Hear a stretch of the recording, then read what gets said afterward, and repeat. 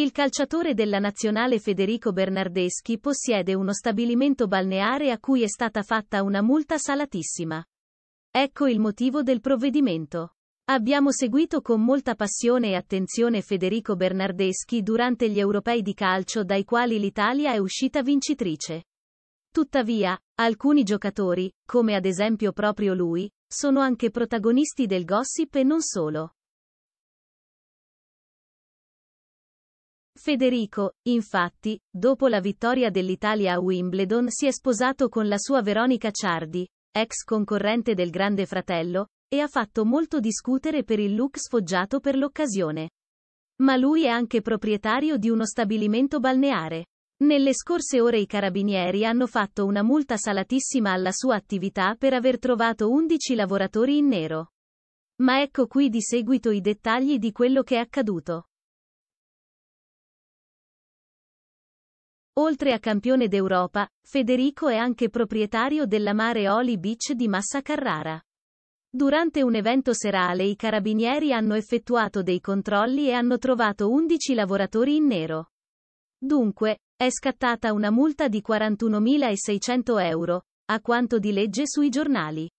Tuttavia, pare che la società proprietaria sia intervenuta subito per spiegare che si trattava di un evento privato indipendente e che gli 11 lavoratori non avevano a che fare con loro, ma con chi aveva organizzato l'evento. Inoltre, vuole far sapere che la multa non è così salata come è trapelato. Non solo. In una nota si legge che Bernardeschi non è assolutamente coinvolto in questo episodio, che i dipendenti dello stabilimento sono soltanto quelli trovati con regolare contratto di lavoro.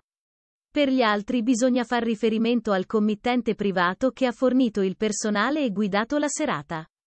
Infine, sembra che, al contrario di quello che si diceva in queste ore nel web, lo stabilimento non è per niente chiuso, ma sta continuando con la sua regolare attività.